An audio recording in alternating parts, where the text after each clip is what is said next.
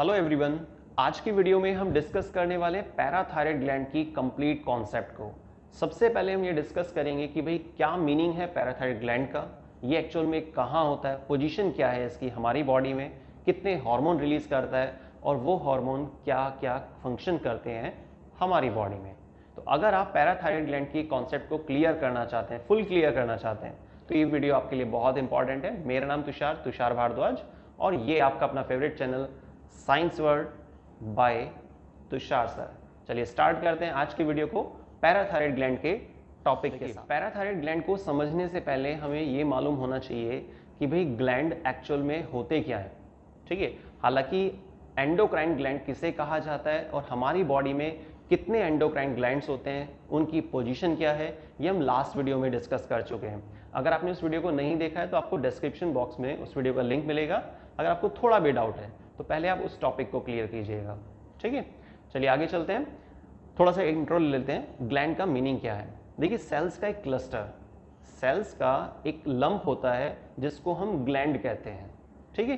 Cluster of cells that perform some specific function cluster of cells that perform some specific function उसको gland कहा जाता है। लेकिन gland हमारी बॉडी में दो प्रकार के होते हैं। ठीक? Number first exocrine gland and number second endocrine gland exocrine gland उसे कहा जाता है जो एंजाइम रिलीज़ करते हैं। और एंडोक्राइन ग्लैंड उसे कहा जाता है जो हार्मोन्स रिलीज़ करते हैं। ठीक है? तो हमारा जो आज की वीडियो का टॉपिक है पैराथायराइड ग्लैंड ये एक एंडोक्राइन ग्लैंड है। क्योंकि ये ग्लैंड हार्मोन रिलीज़ करता है, इसीलिए मैंने आपको कहा कि ये एंडोक्राइन ग्लैंड है। तो याद रखिएगा एंडोक्राइन ग्लैंड उन्हें कहा जाता है जो हमारी बॉडी में हॉर्मोन्स रिलीज़ करते हैं। ठीक है? अब हमारी बॉडी में कितने एंडोक्राइन ग्लैंड है, ये आपको लास्ट वीडियो से पता चल जाएगा। आज की वीडियो में हम पैराथायराइड ग्लैंड को डिस्कस करेंगे। चलिए, अब आपको ये तो क्लियर हो गया होगा, अच्छे से क्लियर हो गया होगा कि भाई ग्लैंड किसे कहते हैं और कितने प्रकार के ग्लैंड होते हैं। उनमें से एक ग्लैंड है जिसका नाम है पैराथायराइड ग्लैंड सबसे पहले अब हम इसकी पोजीशन को डिस्कस करेंगे। पैराथायराइड ग्लैंड प्रेजेंट होता है हमारे नेक रीजन में। लेकिन फ्रंट साइड में नहीं, आगे की तरफ़ तो थायराइड ग्लैंड होता है। ध्यान से समझिएगा थायराइड ग्लैंड फ्रंट पार्ट में होता है, आगे की तरफ़ नेक रीजन में, और थायराइड ग्लैंड के जस्ट बैक साइड में मतलब पोस्टीरियर पार्ट में प्रेजेंट होता है parathyroid gland clear position clear हो गई। कहाँ पर प्रेजेंट है? पोस्टीरियर पार्ट में। किसके पोस्टीरियर पार्ट में? थायराइड ग्लैंड के बैक साइड मतलब पोस्टीरियर पार्ट में। कुछ इंपॉर्टेंट लाइंस है जो मैंने यहाँ पे नोट की हुई है, उसको समझते हैं। Parathyroid gland lies on posterior side of thyroid gland जैसे मैंने आपको भी एक्सप्लेन किया कि भाई आगे की तरफ़ फ्रंट साइड में क्या होता है नेक रीजन में? थायराइड ग्लैंड और उसके जस्ट बैक साइड में। पॉस्टीरियर पार्ट में प्रेजेंट होता है parathyroid gland it develop from endoderm of embryo देखिए एम्ब्रियो के बारे में आपने सुना हुआ है। जाइगोट से एम्ब्रियो बनता है। जाइगोट सिंगल सेलुलर स्ट्रक्चर होती है और जाइगोट कैसे बनता है? एग और स्पम के मिलने से। ठीक है? जाइगोट जब फॉर्म हो जाता है, जिसको हम सिंगल सेलुलर स्ट्रक्चर बोल रहे हैं, उसमें जब डिवीज़न होते हैं, कौन से डिवीज़न माइटोटिक डिवीज़न होते हैं। तो वहाँ एम्ब्रियो की फॉर्मेशन होती है। और जब एम्ब्रियो तैयार हो जाता है तो एम्ब्रियो में स्टार्टिंग में तीन लेयर देखी जाती हैं एक्टोडम मीजोडम और एंडोडम ठीक है? याद रखिएगा एक्टोडम मीजोडम और एंडोडम चलिए इसको नोट कर लेते हैं साइड में। एक्टोडम मीजोडम और एंडोडम ठीक है? तो ये तीन लेयर्स होती हैं, जिसके बेसिस पर ऑर्गन्स डिसाइड होते हैं। ठीक है? यही तीन लेयर हैं जो हमारी बॉडी में ऑर्गन्स को तैयार करती हैं। क्लियर चलिए, अब देखिए यहाँ पे क्या लिखा हुआ था इन तीन में से? एंडोडर्म तो एंडोडर्म वाली जो लेयर होती है, वो बनाती है। किसको? पैराथायराइड ग्लैंड को। क्लियर अभी तक हमने देखिए दो चीज़ें डिस्कस कर ली हैं। फ़र्स्ट पोजीशन सेकंड नंबर पे, इन तीनों में से कौन सी लेयर है जो प्रोड्यूस कर रही है किसको? पैराथायराइड ग्लैंड को। नेक्स्ट ये जो ग्लैंड होता है, क्या प्रोड्यूस करता है? पैराथॉर्मोन ठीक है? तो पैराथायराइड ग्लैंड एक एंडोक्राइन ग्लैंड है, वो हमने स्टार्टिंग में समझ लिया था। अब ये पैराथायराइड ग्लैंड क्या प्रोड्यूस करता है? ये प्रोड्यूस करता है एक हार्मोन जिसको बोलते हैं पीटीएच शॉर्ट में आप इसको पी टी एच ठीक है? इस तरह से भी दिखा सकते हैं। बाकी इसकी फुल फॉर्म क्या होती है? पैराथॉर्मोन तो पैराथॉर्मोन एक ऐसा हार्मोन है जो प्रोड्यूस हो रहा है, जो तैयार हो रहा है, जो रिलीज़ हो रहा है। किससे रिलीज़ हो रहा है? पैराथायराइड ग्लैंड से। और पैराथायराइड ग्लैंड से एक हार्मोन रिलीज़ हुआ। इसीलिए हमने इसको बोला था शुरू में कि भाई ये एक एग्ज़ाम्पल है, एक ग्लैंड है एंडोक्राइन ग्लैंड के लिस्ट में जिसको प्लेस किया हुआ है। एक्सोक्राइन नहीं बोलना है, क्योंकि एक्सोक्राइन वो ग्लैंड थे जो एंजाइम प्रोड्यूस करते हैं।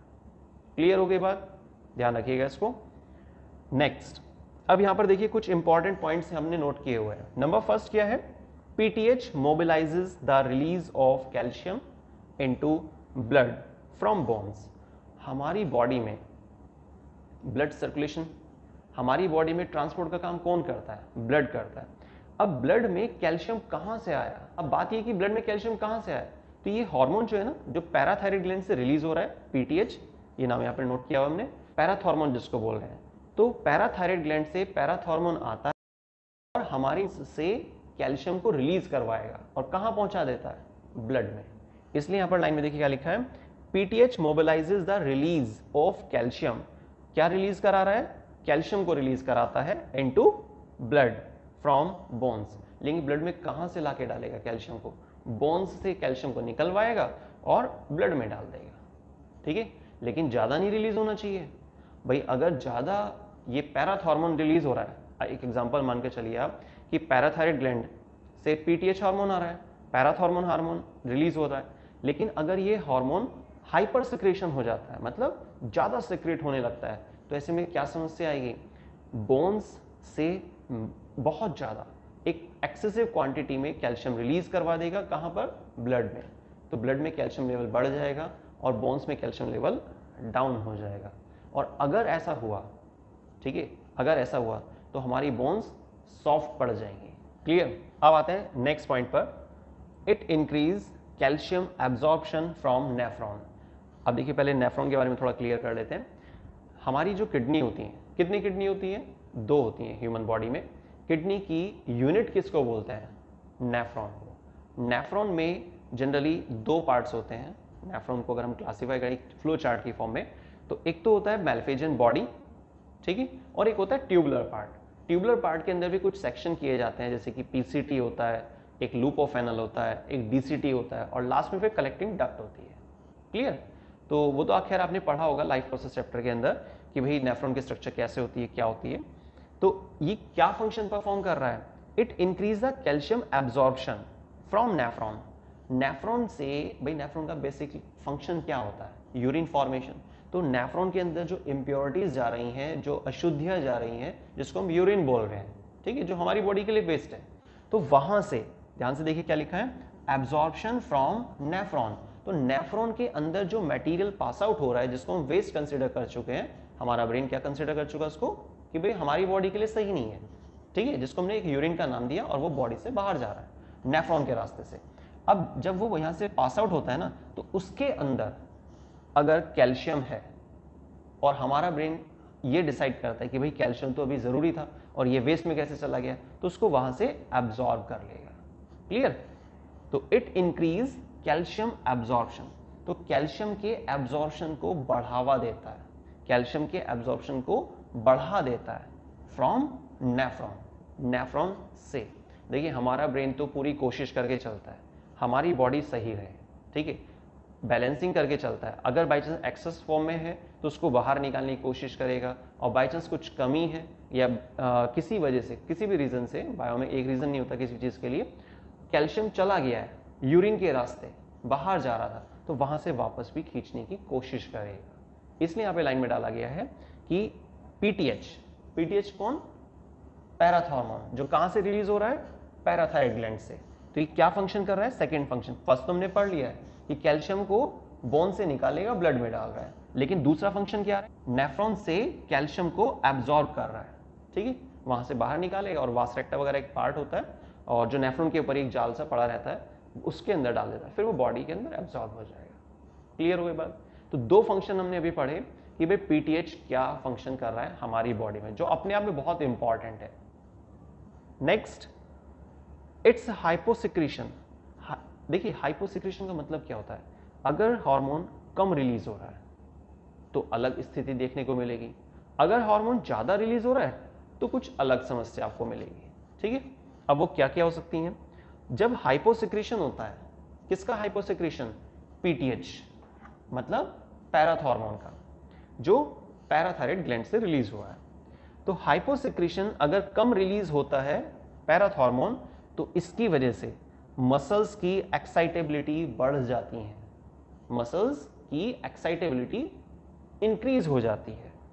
साथ में sustained contraction of muscles of larynx face hand and feet पैरों की मसल्स हाथों की जो मसल्स होती है लैरिंग्स की जो मसल्स हैं फेस की जो मसल्स हैं, उनकी बात चल रही है कि वहाँ पर क्या हो जाएगा? कॉन्ट्रैक्शन हो जाएगा। थोड़ा खिंचाव बन जाएगा। भाई, एक तो होता है स्ट्रेचिंग ठीक है? एक होता है कॉन्ट्रैक्शन तो रिलैक्सेशन वाली बात नहीं चल रही है, उसके अपोजिट कॉन्ट्रैक्शन की बात चल रही है। तो मसल्स थोड़ा सा कॉन्ट्रैक्ट हो जाती हैं, थोड़ा खिंचाव बन जाता है मसल्स में। स्पेशली कौन से पार्ट में? पैरों वाले पार्ट में आपको देखने को मिलेगा। हाथों में मिल सकता है फेस पे मिल सकता है और लैरिंग्स लैरिंग्स मतलब जो वॉइस बॉक्स होता है, ठीक है? तो ये हाइपोसिक्रेशन की स्थिति है। तो हाइपोसिक्रेशन में मैंने क्या समझा अभी? कि अगर पीटीएच हार्मोन कम रिलीज़ होता है तो ऐसी स्थिति में थोड़ा सा दिक्कत देखने को मिलेगी। अब वो क्या क्या समस्याएँ हैं? कि मसल्स थोड़ा सा कॉन्ट्रेक्शन फ़ेज़ में चली जाती हैं और वो रिलैक्स्ड नहीं हो पाती हैं। लेकिन ये कब हुआ? जब पीटीएच हार्मोन कम रिलीज़ हुआ। और पीटीएच हार्मोन कहाँ से आया था? पैराथायराइड ग्लैंड से। और पैराथायराइड ग्लैंड कहाँ पर है? थायराइड ग्लैंड के पोस्टीरियर वाले पार्ट मतलब नेक वाले रीजन में पीछे की तरफ़। थायराइड के जस्ट पीछे। क्लियर हो गई बात? अब यहाँ एक और स्थिति बन सकती है। भाई, कम रिलीज़ हो रहा है तो ये वाली प्रॉब्लम आ रही है। लेकिन अगर ज़्यादा रिलीज़ होता है, तब क्या होगा? आपने एक नाम सुना होगा ऑस्टियोपोरोसिस अब देखिए, ये ऑस्टियोपोरोसिस जो टर्म है, कैसे जुड़ी हुई है पैराथॉर्मोन से? इसको क्लियर करते हैं। अगर हमारे पैराथॉराइड ग्लैंड से जो पैराथॉर्मोन रिलीज़ हो रहा है, वो ज़्यादा रिलीज़ होने लगा, ठीक है? तो ऐसे में हमारी बोन्स से कैल्शियम ज़्यादा निकालेगा और ब्लड में डाल देगा। तो ब्लड में तो कैल्शियम लेवल इंक्रीज हो गया, लेकिन बोन्स में कैल्शियम लेवल डाउन हो गया। और अगर हमारी बोन्स में कैल्शियम लेवल डाउन होता है, किस वजह से हुआ? पैराथॉर्मोन की वजह से। तो हमारी बोन्स जो होती है ना सॉफ्ट हो जाएँगी। बहुत जल्दी वहाँ पे फ्रैक्चर देखने को मिलेगा। शॉर्ट में हम ये भी कह सकते हैं डीमिनरलाइजेशन हो सकता है। डीमिनरलाइजेशन देखिए मिनरलाइजेशन का मतलब होता है मिनरल्स का ऐड होना, लेकिन डीमिनरलाइजेशन मतलब मिनरल्स का रिमूव होना। और स्पेशली कौन से मिनरल की बात चल रही है यहाँ पर? कैल्शियम की। ठीक है? तो हमारी बोन्स में कैल्शियम कम हो जाएगा क्योंकि बोन्स से कैल्शियम को निकलवा दिया गया। किसके द्वारा? पैराथॉर्मोन की वजह से, क्योंकि पैराथॉर्मोन थोड़ा ज़्यादा रिलीज़ हो रहा था इस वजह से। और वो कहाँ पर चला गया कैल्शियम? हमारे ब्लड में आ गया। लेकिन बोन में तो कम हो गया ना। इसी वजह से यहाँ पर बोन्स में बैंडिंग या फ्रैक्चर होना बोन्स का सॉफ्ट पड़ जाना। क्लियर जिसको हम क्या बोल रहे हैं? कि भाई एक टर्म है डीमिनरलाइजेशन और ये डीमिनरलाइजेशन जब हो जाता है हमारी बोन्स में, ठीक है? तो ऐसे में फिर वहाँ पर एक नाम हाईलाइट किया जाता है जिसको बोलते हैं ऑस्टियोपोरोसिस तो आई थिंक आपको बहुत अच्छे से समझ में आ गया होगा कि पैराथॉर्मोन का फ़ंक्शन क्या होता है। कहाँ से रिलीज़ हो रहा है, ठीक है? कौन सी सेल है, चीफ सेल्स यहाँ पर बोला जाता है, जो पैराथायराइड ग्लैंड की हैं, जो क्या रिलीज़ करती हैं? पैराथॉर्मोन को। ये क्या क्या फ़ंक्शन परफॉर्म करता है, ये भी आपको क्लियर हो चुका है। अगर ये कम रिलीज़ हो रहा है तो क्या दिक्कत आ सकती है हमारी बॉडी में? और अगर ये ज़्यादा रिलीज़ होता है, ज़्यादा मतलब हाइपर सिक्रेट होता है तो ऐसे में क्या प्रॉब्लम आ सकती है? कैसे ऑस्टियोपोरोसिस को पीटीएच हार्मोन मतलब पैराथ हार्मोन से कनेक्ट किया जाता है? ये चीज़ भी आपको क्लियर हो गई और अगर आपको वीडियो में स्टार्टिंग से लास्ट तक सारी टर्म्स क्लियर है, आपको अच्छे से समझ में आ गया है कि पैराथ हार्मोन का क्या फ़ंक्शन है क्या क्या उससे समस्या जुड़ी हुई हैं तो वीडियो को लाइक कीजिए शेयर कीजिए मैक्सिमम शेयर कीजिए। और अगर आपने हमारे चैनल को अभी तक सब्सक्राइब नहीं किया इस तरह का कंटेंट आप रेगुलर पाना चाहते हैं तो सब्सक्राइब करने के बाद बेल आइकन को ज़रूर से प्रेस कीजिएगा। तो आज की वीडियो में बस इतना ही। मिलते हैं नेक्स्ट वीडियो में एक और नए इंटरेस्टिंग टॉपिक के साथ। वीडियो को स्टार्टिंग से लास्ट तक देखने के लिए बहुत बहुत धन्यवाद।